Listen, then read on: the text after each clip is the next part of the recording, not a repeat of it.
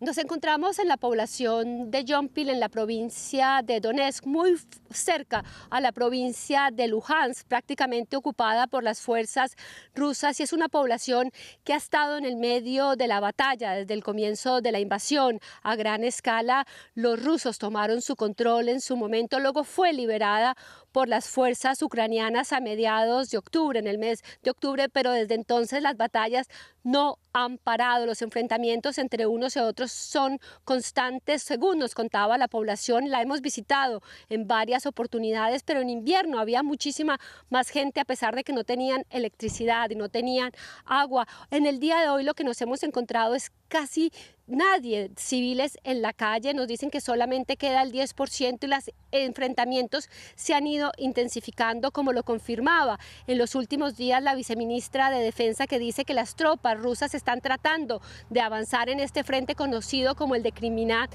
Esbatove. Según nos cuentan algunos eh, entregantes del ejército con los que estuvimos esta mañana, ellos están tratando de presionar en los últimos días con artillería, con tanques, con infantería, de una manera que no habían visto en las últimas semanas. Con el grupo que estuvimos nos contaban que al frente de ellos hay ejército profesional ruso, sin embargo en otros flancos están utilizando estos convictos que sacan de las cárceles rusas y utilizan en grupos para, y que mandan como carne de cañón para tratar de romper las defensas ucranianas y así presionar más a estas tropas. Este es